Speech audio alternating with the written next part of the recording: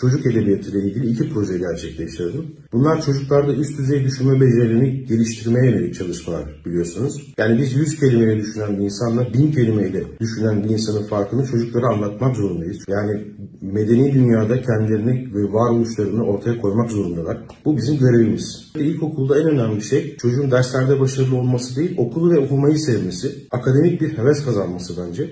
Öğrencileri bilinçsiz tüketimden nasıl uzaklaştırabiliriz, bisiklet kullanımını nasıl teşvik edebiliriz bu soruların cevaplarını bulmaya çalıştım. Telafi eğitimlerine denk geldiğim için güzergahtaki 14 okulda öğrencilerle birlikte buna kafa yorduk. Ben bunların hiçbirini hesaplayarak yapmadım arkadaşlar. Yani her birinin başladığı andan bir 6 ay öncesine gidersek e, bunların hiçbiri aklımda yoktu. Dolayısıyla bir 6 ay sonra ne yapacağım, neler yapacağım en çok ben merak ediyorum ve bu bana gerçekten yaşama sevinci veriyor.